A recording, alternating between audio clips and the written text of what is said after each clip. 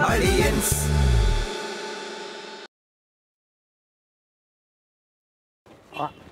അൺസാറേ അങ്ങനെയല്ല. തരകൻ സാർ ഇന്നലെയും കൂടി വിളിച്ചിട്ട് എന്റെ ചോദിച്ചതെന്ന് പറഞ്ഞാൽ പ്രവർത്തനങ്ങൾ ഏതുവരെ ആയി? വല്ല ഉപയോഗമുണ്ടോ അ- അതങ്ങ് അങ്ങനെ അല്ല. സാർ ഉദ്ദേശിച്ചത് നമ്മളെ ചില സ്ഥലങ്ങൾ വീക്കാണ്. ആ ചേലക്കര ഭാഗമൊക്കെ വളരെ മോശം നമുക്ക് പ്രതീക്ഷയില്ല. ആ ആ അപ്പോൾ അവിടെ നമ്മൾ കുറച്ചുകൂടെ ആത്മാർത്ഥമായിട്ട് പ്രവർത്തിക്കണം. കുറച്ചുകൂടെ മനസ്സിലാ? പറഞ്ഞുതരാം. നമ്മൾ ആ ഭാഗത്ത് ഒന്നുകൂടെ ഉഷാറായിട്ട് പ്രവർത്തിക്കണം. ആൾക്കാരെയൊക്കെ കണ്ടാൽ ചിരിക്കണം കൈയെടുത്ത് കാണിക്കണം. പിന്നെ കല്യാണം മരണം അങ്ങനെയുള്ള എല്ലാ പരിപാടിക്കും നമ്മൾ ഇടിച്ചു ചെല്ലണം. ചെന്ന് അവിടെ സജീവമായിട്ട് നിൽക്കണമെന്ന്. ആ. ആ. ആ, അപ്പം അങ്ങനല്ല. കല്യാണം വിളിക്കാനൊന്നും കൂടെ പോകണ്ടേ അതൊന്നും വേണ്ട. അത്ര സേവനമൊന്നും വേണ്ട. അതവർ വിളിച്ചോളും. ആ. ഓ അപ്പം നീയേ. ആ. ആ അത് തന്നെ ആ അത് തന്നെ തരകൻ സാർ ഇനി ദേഷ്യം അയാൾ ദേഷ്യം പിടിപ്പിക്കണ്ട. ആ. ഓ ശരി ശരി. ഓക്കെടാ ഓക്കെ ഓക്കെ. ഞാൻ നരാന്റെ അടുത്തൂടെ ഒന്ന് പറഞ്ഞുതരാം ഓ ഓ. എന്താടേ? എന്താന്ന് ബ്രഷ് കപ്പ് ഫോണ്. ഫോൺ വിളിച്ചു പല്ലി അയച്ചു എന്താണ്? നിനക്ക് എന്താണ് ഇനി ഇതിൽ മനസ്സിലാവാത്തത്? നീ ആദ്യം വീട് നന്നാക്കടാ എന്നിട്ട് നാട് നന്നാക്കറങ്ങ് സാറിന് ഇപ്പം എന്തൊരാളാവോ പ്രശ്നം? എനിക്ക് പ്രശ്നമൊന്നുമില്ല അകത്തുള്ളവർക്കൊക്കെ വേറെ നല്ല ജോലിയുണ്ട്. നിനക്ക് ആകുമ്പോൾ ജോലി ജോലി ജോലിയൊന്നുമില്ല. നീ ആ കൊച്ചിനെ പോയി നോക്ക്. ഓ അതാണോ പ്രശ്നം. അതെനിക്കറിയാം നോക്കാൻ. നീ കണ്ടല്ലേ മരുമോനെ? ആ കണ്ട്. ഉപദേശിച്ച? അതും ചെയ്തു കളയല്ലേ? ഉപദേശിക്കേണ്ടി വരും മിക്കവാറും. നശിപ്പിച്ചോളയല്ലേ ഉപദേശിച്ചോ?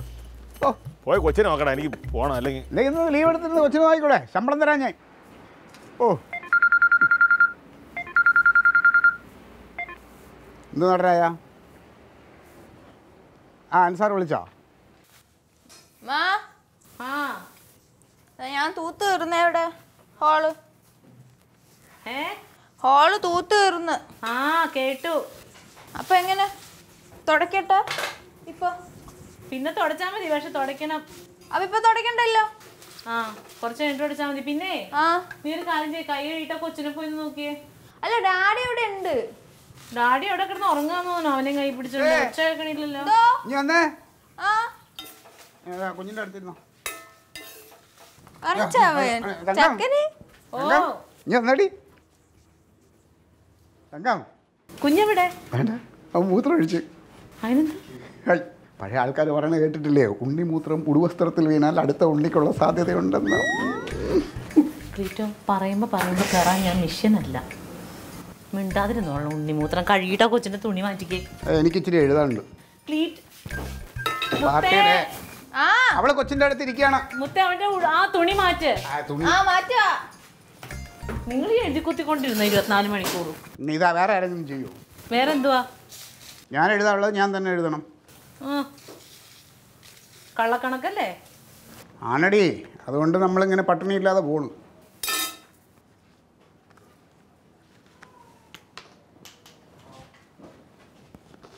മതി ഇവന് പാൽ വേണമെന്ന് തോന്നുന്നു.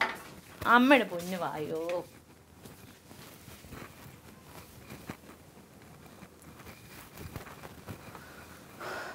ക്ലീറ്റോ? ആ. ദേ റേഷൻ കടയിൽ പോയി അരിയും പഞ്ചസാരയൊക്കെ മേടിക്കണം കേട്ടോ. അരി- ഓ ഈ എഴുതിക്കൊണ്ടിരിക്കുന്നതിന്റെ അരിയും പൊരിയെന്ന് പറയല്ലേ? ഇതാ ഞാൻ അരിയെന്ന് എഴുതി വെച്ചു. എപ്പോ പോവും? ഇന്ന് പോകാൻ പറ്റൂല. ഇന്ന് പോകാൻ പറ്റൂല ഇന്ന് ലാസ്റ്റ് ഡേറ്റാ എന്റെ തങ്ക ഈ കണക്കെല്ലാം കൂടെ എഴുതി കൊണ്ട് തലേ സാറിന്റെ അടുത്ത് കൊടുത്താലേ പൈസ കിട്ടുള്ളൂ. അത് കിട്ടിയാലേ സാധനം വാങ്ങിക്കാൻ പറ്റും. നാളത്തെ. ഇന്നത്തെ കഴിഞ്ഞ അരി കിട്ടൂലെന്നേ. ഏയ് എന്നാ പിന്നെ ഒരു കാര്യം ചെയ്യും. അരി വാങ്ങിക്കാനുള്ള പൈസ കടമായിട്ട് താ തരകൻ സാറ് തരുമ്പോൾ അതങ്ങ് സെറ്റിൽ ചെയ്യാം.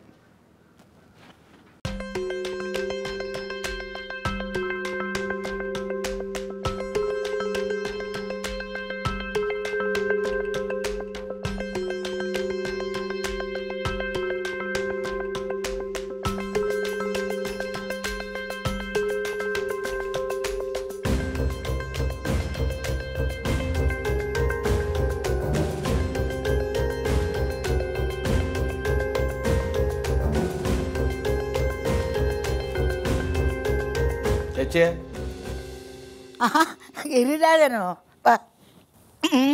ഇതെന്താ ഈ സമയത്ത് കിടക്കണ? വല്ല അസുഖമുണ്ടാ? ഒരു അസുഖമൊന്നുമില്ല. ഞാൻ ചുമ്മാതെ ഒന്ന് കിടന്നേ ഉള്ളു. പാടാ ആ ഇതിൽ നിങ്ങൾക്ക് അസുഖമൊന്നുമില്ലല്ലോ. സുഖല്ലേ? നമുക്കല്ലേ അസുഖവും മനപ്രയാസവും വിഷമൊക്കെ. എന്താടാ നീ അങ്ങനെ പറഞ്ഞത്?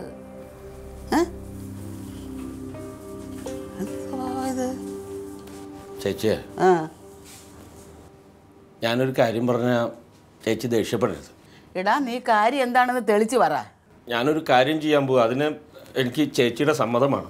ചേട്ടാ നിന്റെ ഏത് കാര്യത്തിനും എനിക്ക് സമ്മതമില്ലയോ? പിന്നെന്താ? ചേച്ചിയെ ഓ. എന്നും ഞാനും ഗിരിജിയും തമ്മിൽ ഓരോന്ന് പറഞ്ഞു വഴക്കും ബഹള. ഒരു സമാധാനമില്ല എന്റെ ദൈവമേ ഇടാ ഭാര്യ ഭർത്താവ് ആകുമ്പോൾ അങ്ങനെയൊക്കെയാ. കുറച്ച് കഴിയുമ്പോൾ അതൊക്കെ മാറും അങ്ങ് മറക്കണം അതൊക്കെ. അതല്ലെന്നേ ഇല്ലാത്ത ഓരോ കാരണങ്ങൾ ഉണ്ടാക്കി എന്നും ബഹള. ചേട്ടാ അതിനിപ്പോൾ അവിടെ ആര്? നിങ്ങളല്ലേ അതിന് കാരണം? അല്ല. പിന്നെ ആര്? ഞാൻ ഈ മനസ്സിനൊരു സുഖമില്ലാത്തതുകൊണ്ട് ഇപ്പം എന്ന് രാവിലെ നേരത്തെ അമ്പലത്തിൽ പോയി പ്രാർത്ഥിക്കും. ഇന്ന് അമ്പലത്തിൽ പോയി പ്രാർത്ഥിച്ചു കഴിഞ്ഞ് ഇങ്ങനെ ഇറങ്ങി വരുമ്പോൾ ഒരു സ്വാമി അവിടെ ഇങ്ങനെ ഇരിക്കണം. ഏത് സ്വാമി? ബിഗിലാനന്ദ സ്വാമി. ആ ഞാൻ സ്വാമീനെ ഒന്ന് നോക്കിയിട്ട് സ്വാമിയുടെ മുമ്പ് കൂടെ അങ്ങോട്ട് പോയപ്പോൾ സ്വാമി പെട്ടെന്ന് എന്റെ കയ്യിൽ കയറി ഇങ്ങോട്ട് പിടിച്ചു. എന്നിട്ട്? എന്നിട്ട് എന്നോട് പറയാ മനസ്സിനൊരു സമാധാനം ഇല്ല അല്ലേ എന്ന് ആദ്യം അത് കേട്ടപ്പോൾ ഞാൻ അങ്ങനെ വിശ്വസിച്ചൊന്നുമില്ല പിന്നീട് സ്വാമി ഓരോ കാര്യങ്ങൾ ഇങ്ങനെ പറയുന്നത് കേട്ടപ്പോ വിശ്വസിച്ചു പോയി ഞാൻ. സ്വാമി പറയണ ഓരോ കാര്യങ്ങൾ കേട്ട ഈ കുടുംബത്തിലുള്ള ഒരാൾ പറയണ പോലെയാണ് കഴിഞ്ഞു പോയ ഓരോ കാര്യങ്ങളും സ്വാമിനോട് പറഞ്ഞു നീ കാര്യം പറ. ചേച്ചിക്ക് അറിയാലോ എന്റെ കല്യാണം നടക്കാൻ എന്താ അത്ര വൈകിയെന്ന് പെണ്ണ് കിട്ടല്ലേ അളിയൻ?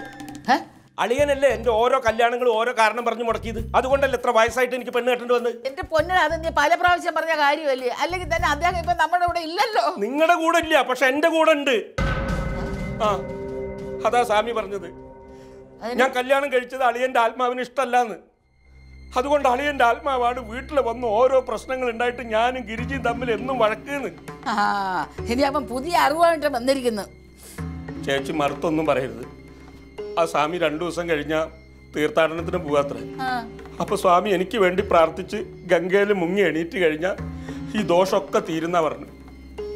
അതിന് ഈ വീട്ടിലുള്ളവരുടെ സമ്മതം വേണത്രേ. ചേച്ചിയുടെയും തങ്കത്തിന്റെയും കനകന്റെയും സമ്മതം കിട്ടിയ സ്വാമി ഈ പൂജ നടത്തിയ ഈ ബാധ അങ്ങോട്ട് ഒഴിവാകും അപ്പൊ ഞാൻ രക്ഷപ്പെടും. എന്റെ ഭർത്താവിന് നീ സ്വർഗത്തിൽ പോലും സമാധാനം കൊടുക്കരുത് കേട്ടോ. അപ്പൊ എനിക്ക് ജീവിക്കണ്ടേ? എന്തിനാണ് പോകാനാണ് പറഞ്ഞത്. ആഹാ. ചേച്ചി അങ്ങനെ തിരുമണിക്ക് എനിക്കിന്റെ കാര്യം നോക്കണല്ലോ. എന്താ ചെയ്യേണ്ടതെന്ന് എനിക്കറിയാം. ആ നീ പോയി ചെയ്യ്.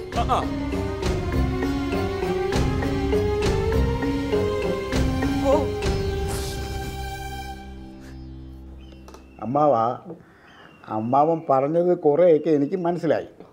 പക്ഷേ നമ്മുടെ ഈ വികലാംഗ സ്വാമി ഇല്ലേ വികലാംഗനല്ല വികലാനന്ദ സ്വാമി ആ ആ ആ വികലാനന്ദ സ്വാമി പറഞ്ഞത് കേട്ടിട്ടാണ് എനിക്ക് ചിരി വരികളെ. ഈ നൂറ്റാണ്ടിൽ ഇതൊക്കെ ആരെങ്കിലും വിശ്വസിക്കും അമ്മാവ? സ്വാമി പറയുന്നത് കേട്ടപ്പോ നീ ചിരിച്ച പോലെ ഞാനും ചിരിച്ചു. അയ്യോ പിന്നെ ചിരി വരാതിരിക്കും. പക്ഷെ നിന്നെ കുറിച്ച് ചില സത്യങ്ങൾ സ്വാമി എന്നോട് പറഞ്ഞു. അപ്പോഴാണ് എനിക്ക് സ്വാമീനെ വിശ്വാസമായത്. എന്നെ കുറിച്ച് എന്തോന്ന് പറഞ്ഞു സ്വാമി? എന്താ വേണം? തങ്കകത്ത് തങ്കം കുഞ്ഞിനോടൊക്കെ. അമ്മ പറ എന്താ സത്യം എന്താ എന്നെ കുറിച്ച് പറ അമ്മാവ എന്തോ പറഞ്ഞു സ്വാമി. പതിനാറ് വർഷങ്ങൾക്ക് മുമ്പ് ഈ കുടുംബത്തൊരു നല്ല കാര്യം നടന്നു എന്നും എന്നാൽ അത് ചീത്ത കാര്യമാണെന്നും പറഞ്ഞ് ആ നല്ല മനസ്സിനെ ഇപ്പോഴും പലരും വേദനിപ്പിക്കുന്നുണ്ടെന്നും ഈ സ്വാമി പറഞ്ഞു.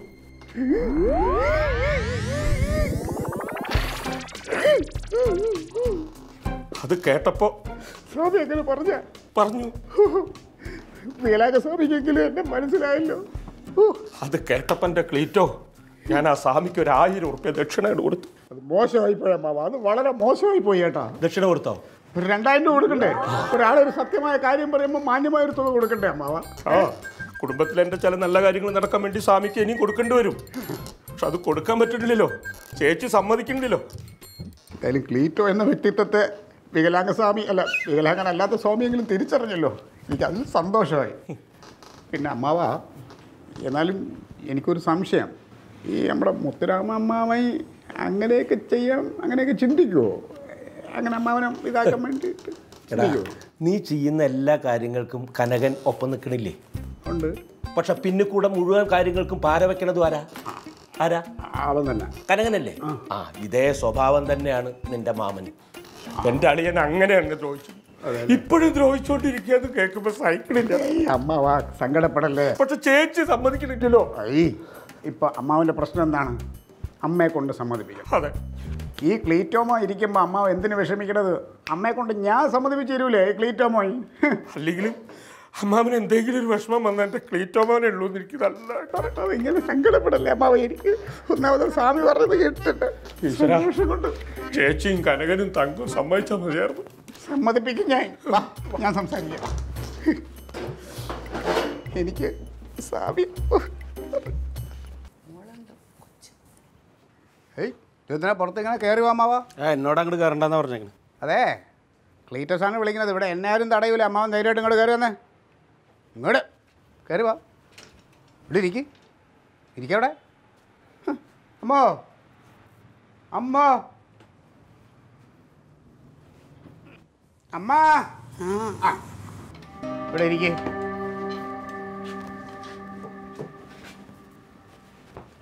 എന്താ അമ്മയുടെ തീരുമാനം? അല്ല നിനക്കിപ്പോൾ എന്താ വേണ്ടത്? അതെ. ഈ അമ്മാവൻ പറഞ്ഞ ഒരു പ്രത്യേക പ്രാർത്ഥനയുണ്ടല്ലോ. അത് നടത്താൻ സമ്മതമെന്ന മൂന്നക്ഷരം അമ്മ കൊടുത്താൽ ഈ പാവത്തിന്റെ കുടുംബത്തിന് സമാധാനം എന്ന നാലക്ഷരം കിട്ടും. അതിനെക്കുറിച്ച് എന്ത് പറയണമെന്നാണ് ഞാൻ ചോദിച്ചത്. ക്ലീറ്റോച്ചേട്ടൻ എന്തറിഞ്ഞിട്ട് ഈ പറയണത്? അമ്മാവൻ വല്ലവരുടെയും വാക്ക് കേട്ടോണ്ട് വരും. അതിനനുസരിച്ച് നമ്മൾ തുള്ളണോ? വല്ലവരുടെയും വാക്കാ. വികലാംഗ വികലാനന്ദ സ്വാമി എന്ന് പറഞ്ഞ ആരാ? മഹാനായ ഒരു മനുഷ്യൻ.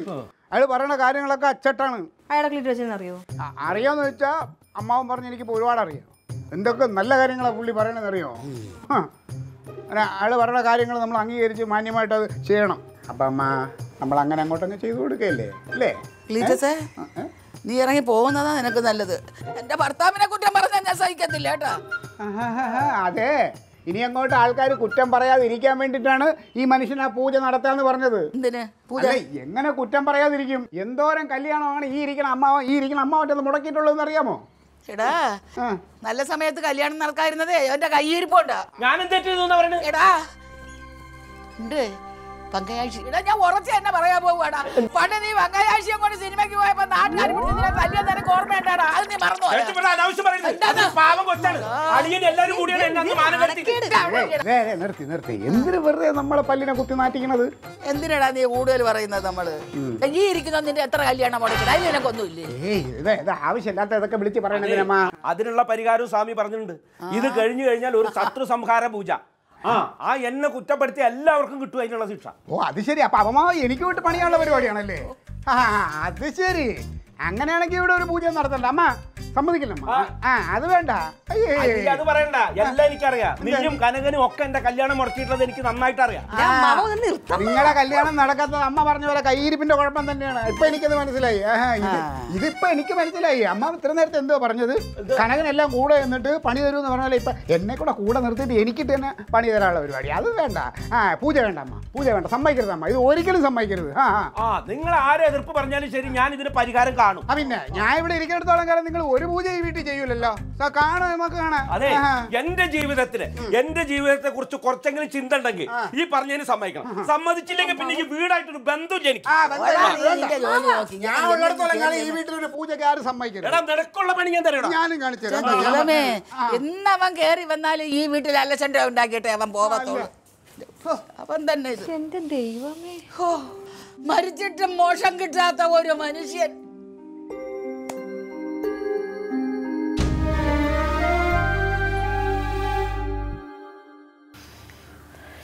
എന്തായി? മോളെ വെള്ളത്തുണി മാറ്റി മടക്കണേ. അമ്മ ഇത് ഇതൊക്കെ ഇവന് പാകാവോ അമ്മ ഇനി? ഓ ഓ. അതിപ്പോ പാകാവും. ഇച്ചിരി കഴിഞ്ഞാ. ടൈറ്റ് ആയിരിക്കും ഒരു മാസം കൂടി കഷ്ടിയിടാൻ പറ്റുമായിരിക്കും. ആ ഈ വാങ്ങിക്കണവർക്ക് കുറച്ച് വലുത് വാങ്ങിച്ചൂടെ പെട്ടെന്ന്. അത് അവരവർ അവരവരുടെ ഇഷ്ടത്തിന് മേടിച്ചിട്ട് തന്നെയല്ലേ ദേ ഇതൊക്കെ. അതൊക്കെ വലുതാ. ഇതൊക്കെ കുറേ നാളിടാം. നല്ല സാധനം. എന്താടോ ഉറങ്ങാത്തത്? നീ എടാ എന്താടാ ഉറങ്ങാത്തത്? ചേച്ചി. ഉറങ്ങിയല്ലേ ഉറങ്ങുമായിരുന്നതേ ഇപ്പൊ കണ്ണു മുഴിച്ച് കിടക്ക. ചക്കര? മാമി വന്നേക്കണ്. മുഖത്തോട്ട് പണിയൊക്കെ കഴിഞ്ഞ ചേച്ചി?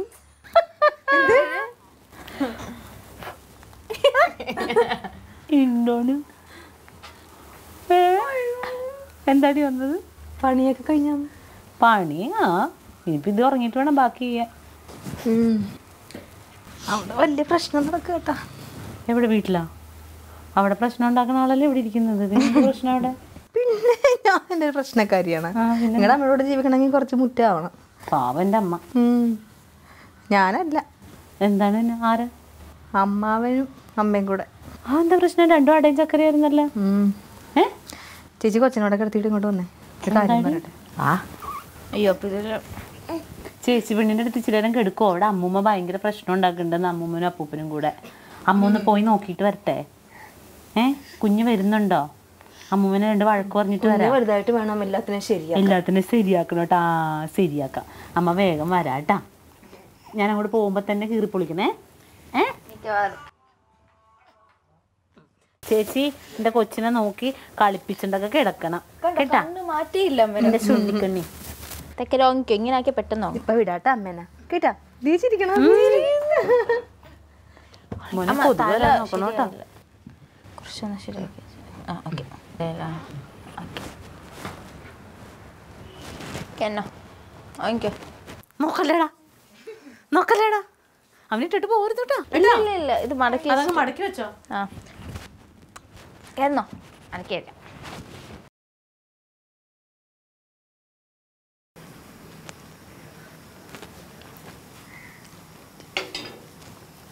അമ്മേ. അമ്മാവനെന്തേ വന്നിട്ട്? ആ എനിക്കങ്ങനെ അറിയാം. ഏ? ഞാൻ കണ്ടില്ല. ഇവിടെ എന്തൊരു ബഹളം കേട്ടത്? എന്തോന്ന് ബഹളം? അമ്മയമ്മാവനും കൂടെ? അത് തന്നെ. ഞാനൊരു ബഹളം വന്നില്ല അവൻ എന്റെ അടുത്ത് ഓരോന്ന് പറഞ്ഞ് ഞാൻ അതിന്റെ മറുപടി പറഞ്ഞു. അത്രേ ഉള്ളൂ. അവന്റെ കാര്യങ്ങളൊക്കെ ഞാൻ സാധിച്ചു കൊടുക്കണമെന്നുണ്ടാ. എടി നിന്റെ അച്ഛനെയാണ് അവൻ കുറ്റം പറഞ്ഞത്. നിനക്കറിയാമോ? അച്ഛന്റെ സ്വഭാവം നമുക്കറിയാൻ പാടില്ല. അമ്മാവൻ എന്തെങ്കിലും പറഞ്ഞു ഓർത്തിപ്പോൾ അച്ഛന്റെ സ്വഭാവം മാറാൻ പോകുന്നുണ്ടോ എടി മരിച്ചുപോയ അയ- അയ- അയാളെ കുറിച്ച് ആവശ്യമില്ലാത്ത പറയുന്നത് എന്തോന്നിനെ ഭയ? എന്തോന്ന് ആവശ്യമില്ലാത്ത പറഞ്ഞ? അയാളുടെ ശാപം കൊണ്ടാണ് അവന് പെണ്ണ് കിട്ടാത്തതെന്ന്. ഞാൻ സഹിക്കത്തില്ല. നീ സഹിക്കുമായിരിക്കും. ഞാൻ സഹിക്കുന്നതിന്റെ അല്ലാതെ ആകെ ഒരു അമ്മാവനുള്ളതാണ്. അതിന്റെ മനസ്സ് വിഷമിപ്പിക്കേണ്ട കാര്യമില്ല. അച്ഛൻ പോയി. അച്ഛന്റെ കാര്യത്തിൽ നിന്ന് കാര്യങ്ങൾ ചെയ്യാനായിട്ട് അമ്മാവനെ ഉള്ളു ഈ കുടുംബത്ത്. അപ്പൊ അതിനെന്തെങ്കിലും ആവശ്യം ഉണ്ടെങ്കിൽ അത് അമ്മയല്ലേ സാധിച്ചു കൊടുക്കേണ്ടത്? അതിന് വഴക്കും വക്കാണായിട്ട് നടന്നിട്ടുണ്ടെങ്കിൽ നാളെ അമ്മ വീണിട്ടുണ്ടെങ്കിൽ എന്റെ ഗിരിരാജ എന്റെ ഗിരിരാജ എന്ന് പറഞ്ഞാൽ അമ്മ തന്നെ കിടന്ന് നിലവിളിക്കുമല്ലോ. അവന്റെ ഓരോ കാര്യം സാധിച്ചു കൊടുത്തതാണ് എനിക്കിപ്പോൾ ഈ പറ്റിയത് ഇതൊക്കെ സമ്മതിച്ചേക്കാം ആ എന്താ ഇപ്പൊ പ്രശ്നം എന്താ? എന്താ ചെയ്യേണ്ടത്? എന്താ അമ്മ- അമ്മാവൻ ചോദിക്കുന്നത് എന്താ? എന്താടി അമ്മാവൻ എന്തേ പറഞ്ഞോണ്ടിരിക്കുന്നത് അമ്മാവൻ ഏതോ ജോത്സിനെ കണ്ടപ്പോ എന്തോ പൂജ ചെയ്യണോന്ന് പറഞ്ഞു. ദോഷമൊക്കെ മാറാനായിട്ട്. എന്ത് എന്ത് ദോഷം? ഈ അച്ഛന്റെ എന്ത് ദോഷമില്ലേ? അത് മാറാനായിട്ട്. അച്ഛന്റെ എന്തോന്ന് ദോഷം? അച്ഛന്റെ ദോഷമൊന്നും ഇല്ല അച്ഛന് ദോഷം ഇല്ലാന്ന് നമുക്കറിയാലോ ആരെന്തോ പറഞ്ഞാലും ഞാൻ സഹിക്കും. നിന്റെ അച്ഛനെ പറഞ്ഞാൽ ഞാൻ സഹിക്കും എനിക്ക് സഹിക്കാൻ പറ്റൂല എന്റെ അച്ഛനെ പറഞ്ഞിട്ടുണ്ടെങ്കിൽ. എന്റെ അച്ഛൻ എനിക്ക് ജീവനാ. എന്ന് വിചാരിച്ചിട്ടേ ദേ ഇങ്ങോട്ട് അമ്മ ഇങ്ങോട്ട് നോക്കിയേ. അങ്ങ് ഓഫ് ചെയ്തിട്ട് അടച്ച് അതായത് ദേ ദേ നമ്മുടെ അച്ഛൻ എന്താണെന്ന് നമുക്കറിയാം. ഇല്ലേ? നമുക്ക് മാത്രമല്ല ഈ നാട്ടുകാർക്ക് മുഴുവനും അറിയാം നമ്മുടെ അച്ഛൻ പൊന്നായിരുന്നു എന്നുള്ളത്. നമ്മളെ അച്ഛൻ എങ്ങനെയാണ് നോക്കിയെന്നുള്ളതും അറിയാം. അതിപ്പോൾ അമ്മാവൻ അങ്ങനെ ഒരു വിശ്വാസം ഉണ്ടെങ്കിൽ അതങ്ങ് മാറിപ്പോക്കോട്ടെ. ഇനിയിപ്പോൾ നമ്മളോട് പറയാതെ അമ്മാവൻ അത് ചെയ്തേച്ചെങ്കിലോ? അമ്മ അറിയുമായിരുന്നോ? അമ്മാവൻ വന്ന് ചോദിച്ചോണ്ടല്ലേ? അതങ്ങ് സമ്മതിച്ചു കൊടുക്ക്. പിന്നെ നിങ്ങൾ രണ്ടുപേരും കൂടെ പറഞ്ഞുകൊണ്ട് ഞാൻ സമ്മതിച്ചിരിക്കുന്നു. അത്രേ ഉള്ളൂ കാര്യം. എന്ന് വിചാരിച്ചിട്ട് നമ്മുടെ അച്ഛൻ ഒന്നും വരാൻ പോണില്ല. നമ്മുടെ അച്ഛൻ നമ്മളെ നോക്കി അവിടെ തന്നെ ഉണ്ടാവും. അല്ലേ? ആ ഞാൻ സമ്മതിച്ചല്ലോ. എന്നാ വാ. ഓഫ് ചെയ്ത് ഓഫ് ചെയ്ത്. അതങ്ങോട്ട് ഓഫ് ചെയ്ത് തരാം നമുക്കത് മൂടി വെക്കണ്ടേ?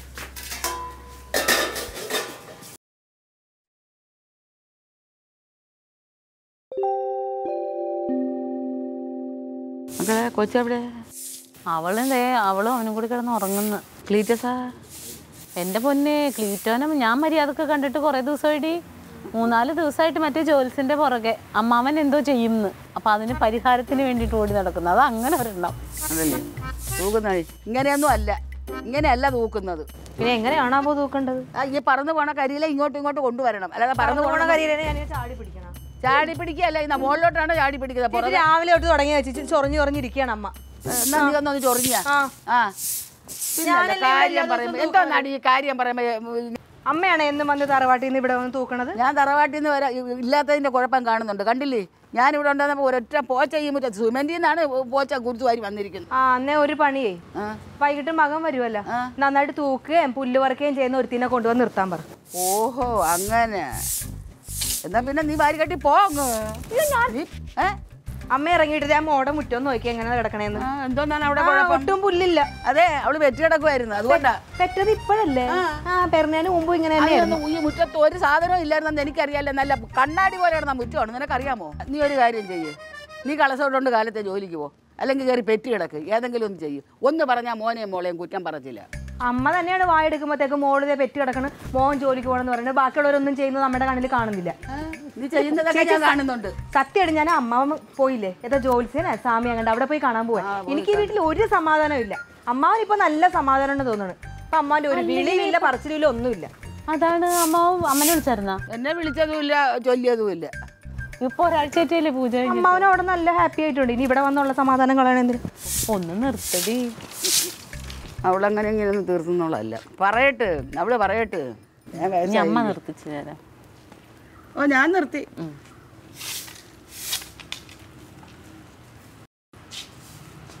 എന്റെ പൊന്നെ ഇത് തല്ലിക്കൊന്നാലും ചാവൂല. അതേ വരുന്നു. പറഞ്ഞില്ലല്ലോ പൊറുതിക്ക് വരുവാണല്ലോ. ഏ?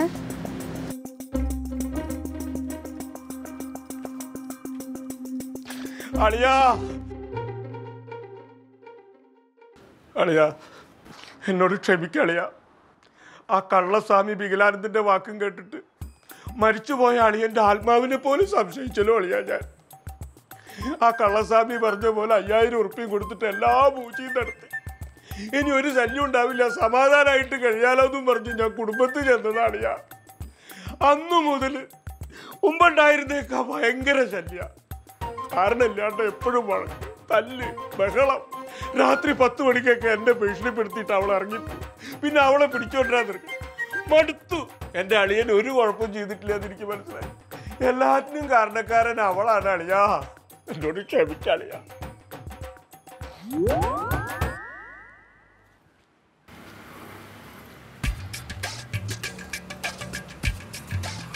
ഞങ്ങളുടെ അച്ഛൻ? പാവം. എങ്ങനെ? പച്ച പാവം അമ്മാവൻ?